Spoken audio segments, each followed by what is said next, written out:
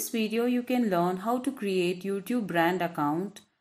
If you haven't subscribed to my channel yet, please subscribe and click the bell icon to get video updates when new content is added. Well, you can see in my account there is only one channel and it is my default personal YouTube channel which is associated with my Gmail account.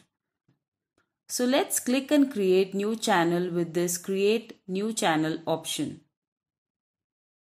Next, here we can enter a suitable channel name to our YouTube brand account.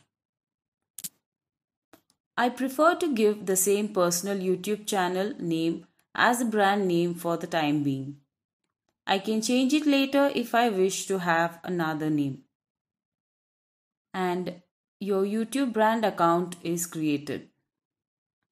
We can upload profile picture for the channel by clicking on this profile icon image and uploading from our computer. Next, we can click here and upload our first video to our YouTube brand channel and add all necessary information like title and description for the video and publish it.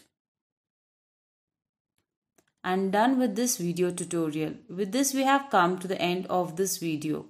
Please like, comment and subscribe to my channel for more video updates like this. Thank you.